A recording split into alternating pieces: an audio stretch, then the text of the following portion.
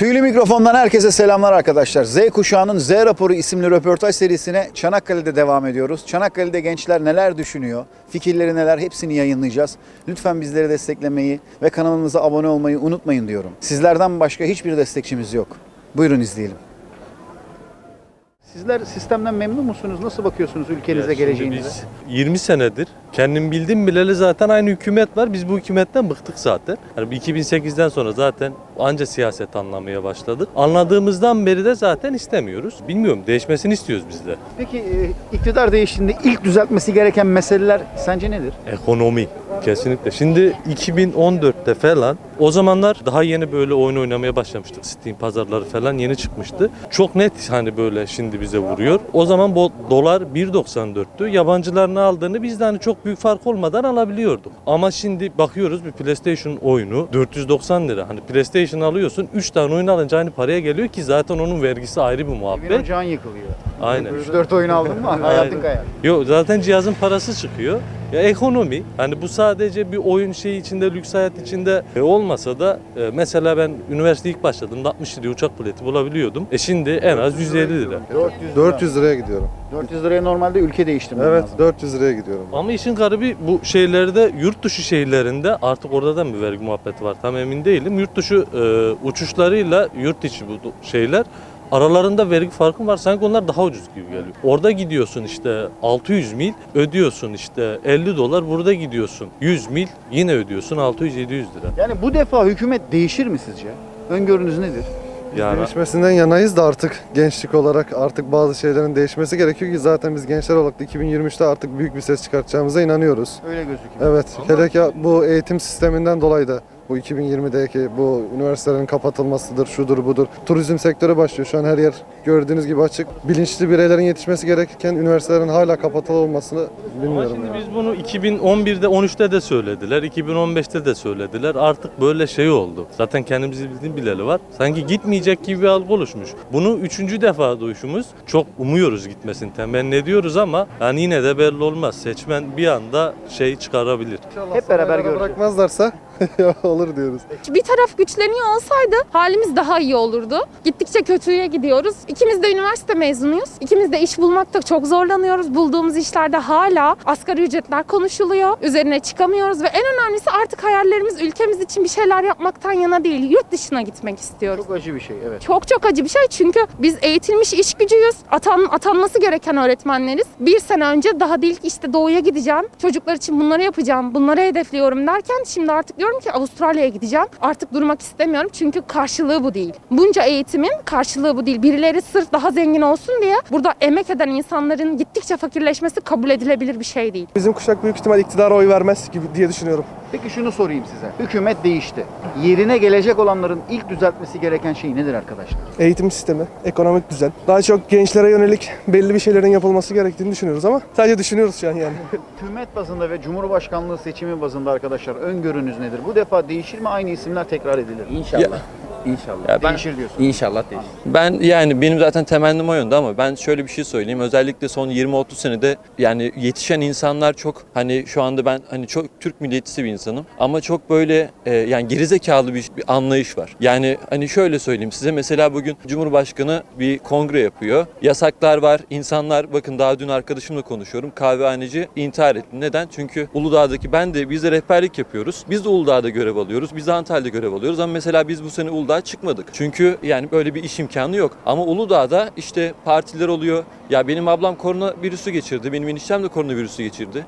Bunlar mesela vefat edici yani inşa hani oldu ki etmedi yani hani Allah'a şükrediyorum. Ama hani oldu ki etti. Şimdi bunun müsebbipleri nasıl e, cezalandırılacak? Ülkemiz istihdamdan bahsediyor mesela. Biz hepimiz rehberlik yapıyoruz senelerdir. Antalya Kemer'de olsun, Uludağ'da olsun. Normal şartlarda bizim hepimizin bu sene White Fest diye bir festival düzenleniyor her sene Uludağ'da. Oraya çıkıp rehberlik yapmamız gerekiyordu.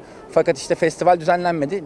Ne tesadüf ki düzenlenmeyen festival oldu ama Uludağ'da başlıca oteller, 3-4 tane kafe otellerimiz var. O otellerin hepsinde yaklaşık 1000-1500 kişilik kapasite var. Hepsi full çekti. Sözde %50'lik dolularla açıklandı. İşte %50'ye kadar alabiliyoruz. Cumartesi pazarları alamıyoruz falan filan. Yani bizim çok çevreden biz aynı zamanda bu işin satışını da yapıyoruz. Yani turizm olarak e, acentalarla anlaşmalarımız var. Satışını da yapıyoruz. Ama ne yazık ki Hem işsiz kaldık aynı zamanda. Bir destek hükümetten. Şöyle söyleyeyim bizim işsizlik maaşı gibi bir şeyimiz oldu. Fakat isim vermeyelim. Çalıştığımız şirketle dolayısıyla biz işsizlik maaşımızı alamadık. Şöyle alamadık. İstifa olarak gösterildik yani çıkışımız. Normalde yani sezon biter siz daha çok biliyorsunuz. Sezon biter. Turizmde çalışanlar evlerine gönderirler. Yani bir film çeviriyorlar. Denetleme olmadığı Son bir için hafta de içerisinde bir yoksulluk sınırı açıklandı biliyor musunuz bunu? 8 bin küsür lira bir yoksulluk sınırı açıklandı ve açlık sınırı. Şöyle bir örnek verelim. Bir anne düşünün. 3 tane çocuk büyütüyor ve yani çok böyle bir maharetli bir insan değil. Ev temizliğine gidebilir. Yani sonuçta benim annem de böyleydi. Bir baba düşünün çalışıyor. İşte aylık 3 bin, 4 bin lira, 5 bin lira bir gelir var. Mesela benim babam ben böyle sayabilirim. Benim babam 3 tane evlat büyütmüş. Bir tanesi öğretmen olmuş. Bir tanesi bir şirkette şu anda yani üst kademede şu anda çalışıyor ve ben ben üniversite öğrencisiyim. Aynı zamanda kendi işimi de yapabiliyorum. Bakın benim babam 20-30 senede bu işi yapabildi. Peki şöyle ben size bir soru sorayım. Bugün benim annemle babam bugün evlenseydi aynı şekilde bundan 30 sene sonra böyle çocuk büyütebilir mi? Şu an insanlar bir baba düşünün ki herkes şunu söylüyor. Biz bir memur maaşıyla 5 çocuğa bakardık diye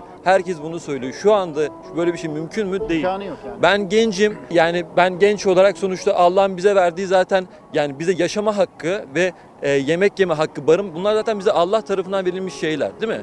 Yani bize Tanrı tarafından bunlar zaten bizim yaşamamız için bizim yani kendi temel haklarımız yaşamak, barınmak, yeme içme. Bunun dışında ben mesela bugün bir tatile mesela gidemiyorum. Bir tatilden bahsettim. Tabii ki de insanlar köye de tatile gidebilir. Ama sonuçta bu dünyada biz de yaşıyoruz değil mi? Yani el alemin çocuğu 600-700 bin liralık arabaya binerken altında 10 bin 20 bin liralık ayakkabı olurken ben Türkiye şartlarını söylüyorum. Tabii ki de yurt dışında böyle değil. araçlarda kokain partileri verilirken Yani bakın ya tabii ki biz öyle bir şey yapalım demiyoruz Yani, ama yani. bunları yapma imkanları varken ben neden e, ya ben bugün işte kredi çeksem de işte şu kadar kredi ödesem de şu kadar bir işte e, 8 saat çalışsam hafta sonu tatilim olsa akşam 5'te işten çıksam e bir de 5 bin lira maaşım olsa. Ben niye şu an bunun kaygısını veriyorum? Ben üniversite bitirdim. Gerçekten şöyle bir şey yapsınlar. Gerçekten böyle bir simülasyon yapsınlar eğer mümkünse. Bir ay boyunca yurt dışına gidişler ücretsiz olsa ya da serbest olsa. Kim kalır? sıkıntı olur. Bunu herkes Genç ya da kalmadı. ben bugün sizin yine bir videonuzu izledim. Bir arkadaş gelmiş şunu söylüyor. İşte nerede yoksulluk var? Açın telefonunuzu falan bakın. Ben şimdi telefonunuzu Valla 2000 liralık telefon hepimizin cebimde. Herkesin cebinde bakın var ben yani. şu telefonu 2000 bugün liralık sattım. telefon Ben bu telefonu bugün Yani. sattım 6-7 bin liraya. Yani. Ben 7 bin lirayla ne yapacağım? Ne kadar geçineceğim? 7 bin liram benim bitti. İlla ki ben Herkes yedi- giydiğimiz ayakkabıyı İş ona mi buna bakıyoruz. kuracağım Olay ben? ayak yani. Bir ülkede ayakkabı giymek zenginlikse hepimiz zenginiz o zaman. Helal olsun yani. Şu Bir sorulması lazım. Bakın bu telefonu, bu telefonu şu anda kaç asgari ücretle alınabiliyor? En azından 3-4 asgari ücretle alınabiliyor. El alemin 18-19 yaşındaki çocuğu bunu yarı asgari ücretle alıyorken ben bunu 4 asgari ücretle alıyorum. Bu sorulması lazım. Bunu tabii konulan vergilerin sorulması lazım. Ya bu, bu öyle. böyle böyle bir saçmalık mı var? Zaten dolar kuru ortada. Bakın bugün Brezilya'da da yine aynı şekilde koronavirüsü var. Her gün tabut yetişmiyor değil mi? Böyle haberler çıkıyor. Ama ilk onda hala, hala ilk onda. Demek ki korona yüzünden bozulmadı bizim ekonomimiz. Ekonomi zaten bu. Bizim zaten çark bugün yönetilmiyor. Bu yani böyle bir e, nasıl söyleyeyim bir döner sermaye var. Bu şu anda yönetim idare Bir şey ediliyor. Bakın. soracağım merak ediyorum. Muhalefetin projeleri daha sunulmadı. Ama sonuçta 19 yıldır yöneten bir hükümet var. Muhalefet nerede hata yaptı da bu kadar Muhalefet hükümet konuda hata yapıyor. kaldı? Bakın ben çok siyasete çok ilgiliyim. Ben tarihle de çok çok ilgiliyim. Ee, bugün mesela muhalefete mesela Muhsin Yazıcıoğlu yine bir muhalefetti değil mi? Daha öncesinde Deniz Baykal da muhalefetti. Daha öncesinde Ecevit de muhalefetti. Daha öncesinde Devlet Bahçeli yine muhalefetti. Bakın 10 sene önceki muhalefete, 15 sene önceki muhalefete baktığınız zaman insanlar bir icraat sunuyorlar. Gerçekten insanlar ve insanların yarasına ulaşabiliyordu. Bugün eğer bir toplumda bir ayrımcılık varsa, bir ayrışım varsa insanlar bunu dile getiriyordu. Ben Türk milliyetçisi olarak mesela bugün bir, bir parti var ki bu parti yani aslında HDP partisi. Ben mesela HDP partisini kesinlikle desteklemiyorum. Destekleyeni de mesela savunmam. Ben 2018'de bu şehirdeydim. Eğer belediye seçimlerinde İstanbul'da İmamoğlu'na destek verirdim ben. İmamoğlu'na oy verirdim. Ama vermedim ki şu an şükrediyorum. Neden? Çünkü bugün HDP ile kol kola. Tamam HDP'nin bir oyu var. Evet bu insanın lider olmayı bilmesi için HDP'yi yanına alması gerekebiliyor. Bunlar politik şeyler. Bunlar politika. Bugün Tayyip Erdoğan da aynı şeyi yapıyordu. İsrail'le yine yakın ilişkiler kuruyordu. Amerika ile bir küsüyordu, bir barışıyordu. Ama HDP ile destek, HDP destek çıkan açıklamalar yaparak o yaptığı baş, belediye başkanı olduğu şehirde daha kaliteli hizmet vererek zaten o insanlara sen destek olmuş oluyorsun verdiğin hizmetle. Yani onu çıkıp da açıklayıp işte Pervin Sayın eş başkanlarına işte ya bunlara Ben gerek yoktu sadece karşıyım. yani. Bakın, bakın Pervin Buldan'ın eşinin kim olduğu biliniyor. Savaş Buldan. Zamanında neler yaptığı biliniyor. Sırrı Süreyya Önder'in, Selahattin Demirtaş'ın ya ben biz Apo'nun heyke- heykelini dikeceğiz diyen adamın yani ben size şöyle bir şey söyleyeyim. Değil bu ilden bu ülkeden direkt sınır dışı edilmesi lazım. Mahmut Esat Bozkurt, Atatürk'ün ilk Adalet Bakanı şunu söylüyordu. Eğer Türk olmak istemeyen insanı kimlik vatandaşından çıkarırız ve bu ülkeden gider. Ne yapmak istiyorsa bu yapılır. Bu anlayışın geri gelmesi lazım. Burada bir ayrımcılık işte biz Türk üstün kimliğini kabul etmiyoruz. Ya bugün bir Almanya'ya git. Almanya'da da bugün Almanya'da sömürü vardı. Biz hadi burada Kürtler var, Lazlar var, Türkler var. Biz burada belki de Anadolu'da 500-600 senedir, 1000 senedir, 2000 senedir belki biz burada birlikte yaşıyoruz. Bugün Malililer, işte bilmem Ganalılar bugün sömürüler. Ama adamlar Almanya'da, ben, Fransa'da ben Fransız vatandaşıyım diyor. Bakın vatandaş Bu ile... işin çözümü nasıl Bu işin olmalı çözümü, peki sizce? bu işin çözümü zaten bu işin çözümü olurdu bundan 40-50 sene önce, 60 sene önce. Şimdi bize bir enkaz bıraktılar. Ee, yani bugün Kürt gençleri diyor ki kardeşim ben Kürtçe konuştuğum için dayak yedim. Şimdi bu yanlış bir uygulama ya ama biz 1980'de yapmadık bunu. 1980'deki Diyarbakır cezaevindeki olan olaylardan dolayı şu andaki hiç kimseyi mesul edemezsiniz. Ki zaten o zamanki o olaylar olduğu için şu anda böyle bir ayrı, ayrışım var. İnsanların bunu e, bilmesi lazım. Bu saatten sonra nasıl Böyle bir böyle bir ayrım ol. Bakın bu e, toparlanma 20-30 senelik bir altyapıyla olur. Böyle 20-30 senelik bir bilinçle olur, bir fikirle olur. O 1980'deki o e, ayrımcılık yapıldığı için hatta daha doğrusu şöyle söyleyeyim bugünkü bu ayrışım olsun diye zaten 1980'deki Kesinlikle proje. Kesinlikle proje. Bakın bugün insanlar Ruzi Nazır'ın kim olduğunu araştırsın. Enver Altaylı'nın ve Mehmet Fuat Doğan'ın bunlar nasıl ilişkisi olduğunu araştırsın. Ben geldim başka bir düşüncedeyim. Hadi aramızı bozalım diye bir düşünce değil. Anladınız mı? Bu çok ciddi 40-50 senelik bir proje. Bir şekilde barış gerekiyor. Bir şekilde beraber yaşamamız lazım. Bir şekilde bu insanlarımızın Aynen iki öyle. tarafında manipüle edilmesi lazım. Ülke- dış güçler ülkemiz tarafından. yani, Aynen öyle. Bakın bundan- Günün sonunda hepimiz beraberiz çünkü. Bakın bundan 10 sene 15 sene önce bir teröriste terörist deniliyordu değil mi? Evet. Ve bugün mesela bir sol görüşlü bir insanda yine bir teröriste terörist diyebiliyordu. Şimdi yanlış anlamayın. Arkadaşım yani sol, görüşünün önemi yok. Arkadaşım başka bir şey savunsa, ben başka bir şey savunsam sırf o onu savunuyor da ben buna terörist diyorum. Şu an FETÖ'cü diyorum. Vatan haini Bakın yani. bir ülkenin geldiği bir- duruma bakın yani. Bir HDP'li milletvekil eşini dövdü biliyorsunuz. Mesela bugün sol görüşten Twitter'dan da e, birçok mesela böyle kuruluş bunun hakkında herhangi bir haber yapmadı. Objektiflik de yok diyorsunuz Objektiflik kadarıyla. yok. Ben bunu, Herkes ben kendi bunu sadece doğru ben biliyor. bunu sadece sağ kesimden ya da sol kesimden demiyorum. E, Ensar Vakfı'nın içerisinde tecavüzler oldu. Bakan dedi ki ya bir kereden bir şey olmaz. Bir şey söyleyeceğim. Bunu bunu herhangi bir ülkedeki bir muhtar desin o muhtar direkt ihraç ederler. Bizde bakan söylüyor bunu. Ve bugün mesela ne oluyor? Mesela sol görüşlü insanlar bundan dolayı sürekli yükleniyorlar değil mi Sağ Aynı şekilde CHP'nin içerisinde yine tecavüzler olduğu zaman e, bu sefer de AK Parti yükleniyor. Ama bu sefer de sol görüş HDP'nin içerisinde böyle bir şey olduğu zaman bu sefer sol görüşte sessiz kalıyor.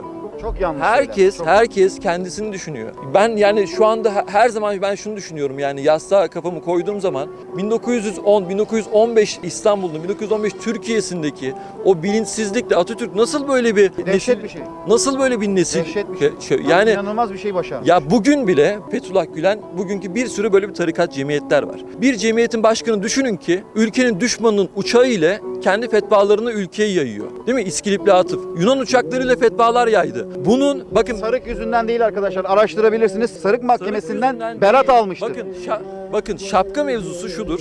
Şapka kanunu şudur. İnsanlar sürekli bir isyan, sürekli bir kalkışma yaptığı zaman Osmanlı fesini takıyordu. Bunu bir siyasi bir kimlik olarak bundan dolayı şapka kanunu çıkmıştır. Ve şapkadan dolayı kimse asılmamıştır. Burada bakın şunu söyleyeyim isterseniz araştırmak isteyen insanlar ben size isterseniz Başbakan Karşılığındaki kodu bile söyleyeyim. Belge kodunu bile size söylerim. İsterseniz size yayından sonra da yine söylerim. Bakın İskilip Atıf İstiklal Mahkemeleri zamanında Atatürk'ten özür yani özür dilemiş ve af dilemiştir. Beni affet demiştir. Anladınız mı? Öyle bir ki Osmanlı'da şöyle bir İngilizlerle vardı. yazışmaları yakalanmıştır. Bakın- İngiliz ajanlığından Bakın asılmış. İskilipli Atıf Osmanlı Devleti zamanında da yine bir bakana suikast düzenlemiştir. Anladınız mı? Buradan Muğla'ya sürülmüştür. Muğla'da yine haraç kesmiştir. Muğla'dan yine başka bir yere sürülmüştür. Neden? Din adamı olduğu için. Bugün düşünün ki Fethullah Gülen din adamı olduğu için bu yaptığı terör karşısında, bu yaptığı darbe karşısında as- şey asılmıyor, ceza verilmiyor, sadece sürülüyor. Sizce böyle bir si- sistem, böyle bir adalet var mı? Şimdi o zaman İskilipli'yi koruyanlar bu Fethullah meselesinde daha yeni yeni görmeye başladılar çok şükür. Yani Bugün- aslında hoca olduğu için değil de dış bağlantıları Din adı altında bakın din adı yani din ticaret çok kolay yapılır. Çünkü yani dinin sermayesi insandır. Anladınız mı?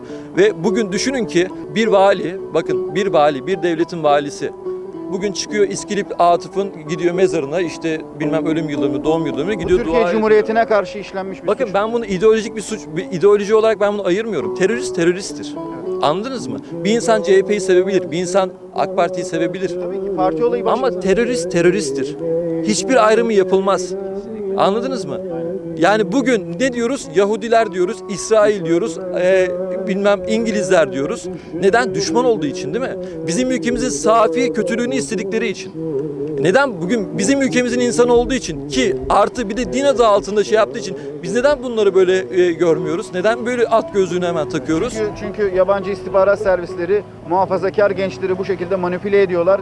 Mustafa Kemal Atatürk'e düşman yapıp iç karışıklık yapmak istiyorlar. Bugün- Maalesef böyle. Bugün bakın Şeyh Said'in, Seyit Rıza'nın Rus generallerle e, mektuplaşması, kol kola fotoğrafları, videoları görülmüyor mu? Bugün yok mu? Yani ben mi yanlış görüyorum yoksa? İnsanlar bunu görmek isterlerse gerçekten çok kolay görürler. Şunu söylemiyorum yani ben bu arada benim babam da çok çok Müslüman bir insan. Ben de yine Kur'an kursuna gittim. Ben yani Allah'a şükür ben de Müslümanım. Ama konu bambaşka bir konu. Konu işin siyasete girilmesi. iş- iş- işin siyasete sokulması. Doğru doğrudur, yanlış yanlıştır. Hani Dindar dinmiş, partiymiş insan, bunlar bakın. başka mevzu. dindar insan zaten bugünkü Müslümanları görün ya bugünkü Müslümanlar demeyeyim direkt böyle bir genelleştirmeyeyim ama bugün din adı altında mesela bugün Diyanet İşleri Başkanı'nı düşünün bilmem bir müftü düşünün o da yani hani dediğim anda bir başkan din işlerinin bir başkanı düşünün bugünkü bir dindar bir Müslümanın yaptığı işleri yapıyor mu? Mesela bir Diyanet İşleri Başkanı düşünün ki diyor ki işte faiz şu şu konuda faiz değildir falan. Hayırdır ya sen neyi reform getiriyorsun? Sen neyi bir renovasyon getiriyorsun? Böyle bir şey mümkün mü? Müslümansan eğer ateist Efendim samimiyetlerine inanmıyor halkın bir çıkar çoğu. için çıkar aynı Osmanlı zamanında hani nasıl fetva veriliyordu? Bakın Osmanlı zamanında ise ben bir olay anlatayım. Osmanlı zamanında matbaa bize e, daha ulaşmamışken ya da matbaanın ulaşılması konuşulurken önce gidiyorlardı e, kadıya, önce gidiyorlar Şeyhülislam'a ya bu acaba caiz mi? Şeyhülislam'da caiz değil dediği zaman da matbaanın bize ge- gelimi olmuyordu, bize gelmiyordu. O bize çok büyük Anladınız yara mı? vermiş tarihte. Bu aynı şey. Bugün birkaç banka kazanacak diye, birkaç banka faizden Kendi kazanacak diye ellerinden geleni kendi çıkarları için yok faiz aslında şu konuda haram değildir. Ya böyle bir saçmalık mı var? Böyle Katılım bir aptallık mı var? Faiz Ben- haram değil ama o bankada haram değil sadece yani. Böyle bir Yani- böyle bir saçmalık var mı? Bakın her şey içinde bir tezat var. Amaçları yukarıda. Bu benim kesinlikle şahsi görüşüm. Kesinlikle bizim gibi e, 95, 96, 97, 98 Z kuşağı diye geçtiğimiz geçilen neslin bir arada olup konuşmaması için, bir arada olup görüşmemesi için, bir arada olup bilinçlenmemesi için, bir arada onlara karşı gelmememiz için. hani Karma eğitim olmaması için yani kızlı erkekli bir arada toplanıyoruz işte üniversiteler bir zaman önce e, seks evleriydi şey, carttı curttu yani bu tarz açıklamalar da yapılıyordu. Aynen, aynen öyle. Aynen öyle. Ki biz 5 senedir okuyoruz Allah'a şükür. Hem çalışıyoruz hem okuyoruz. Anlattık az önce de. İnsanız sonuçta Yani sonuçta yani öğrenciyiz insanız. Biz de daha güzel bir Türkiye hayal ediyoruz. İnşallah. Elimizden gelen de bu sonuna kadar da yapacağız. ülke bizim Teşekkür ülkemiz hiçbir yere gitmiyoruz yani buradayız. İnşallah Mansur Yavaş kazanır. Türklükle kalın. Öngörünüz nedir? Sizin kuşak hükümete mi yakın muhalefete mi? Muhalefete aynen. Muhalefete mi? Evet. Hükümetin en beğenmediğiniz uygulaması nedir? Yani hükümet değişse, muhalif partiler gelse ilk neyi değiştirmeli sizce? Gençlere olan bakış açıları değişmeli. Mesela o kadar üniversite okuyoruz sonra işsiz kalıyoruz. Bu duruma bir el koymaları lazım. Evet bence de. Düzenleme yapılmalı bence. Aynen katılıyorum. Sizce hükümet ve cumhurbaşkanımız değişir mi? Öngörünüz nedir? Ben çok değişeceğini sanmıyorum. Bence değişir. Değişir mi? Bence de değişmez. Efendim niye değişmez dediniz? Alttan gelen %16'lık bir kesim var, kararsız seçmen var. Her şeye rağmen gene seçilir mi diyorsunuz? Ben seçilir diye düşünüyorum. Peki muhalefetin hatası nedir? Neden tekrar aynı isimler seçilecek? Bir ufak örnek verir misiniz? Muhalefet yetersizliği, en büyük yetersizliği nedir? Kararlı bir kişi yok belki de ondan dolayı olabilir. Ayakları yere basan, gelirsek şunları şunları yapacağız diyecek birisi Aynen. diyorsunuz. Aynen. Muhalefet iyi izlesin. Batıyoruz, sürünüyoruz. Bizim nesil şu an Çanakkale'de sürünüyor. Bu defa hükümet değişir mi sence oylarla? Bilmiyorum vallahi bu konular hakkında bir şey diyemeyeceğim ya. Şunu sorayım o zaman. Hükümet aynı kişi seçilse de ya da diğerleri seçilse de ilk düzeltmesi gereken mesele nedir? Gençlerin şikayeti nedir? İnan bir fikrim yok ya. Ha, Dedin ya biraz önce birader sürünüyoruz diye. Niye sürünüyorsun? Sürünüyoruz, işsizlikten sürünüyoruz. İşsizlik o zaman düzeltilmeli İşsizlik, değil mi? işsizlik mesela? düzeltilmeli, düzeltilmeli tabii ki. Yani evet, işsizlik. Benim görüşüme göre şu anda bir siyasi lider ve parti göremiyorum. Muhalefet desem elimde kalır, iktidar desem yine elimde kalır. O yüzden ben konuşmak istemiyorum. Sistemde değişmesi gereken en büyük problem nedir genç bakış olarak? Sistem değişmesi gereken birbirlerinin arasındaki rekabet. Yani oturup da bir kendilerine bir çözüm süreci hazır, hazırlamaları daha mantıklı olur şu anda. Yani birbirleriyle düşman olacaklarına bir projeler üretip Aynen gençlerin öyle, önünü aynen mü öyle. açsınlar diyorsun? Yani herhangi bir şey iktidar bir şey çıkartıyor, muhalefet buna karşı çıkıyor. Muhalefet bir şey çıkartıyor, iktidar karşı çıkıyor. Şöyle devam ederse bir 50 yıl daha böyle giderse yine hiçbir şekilde değişmez 50 yıl boyunca da.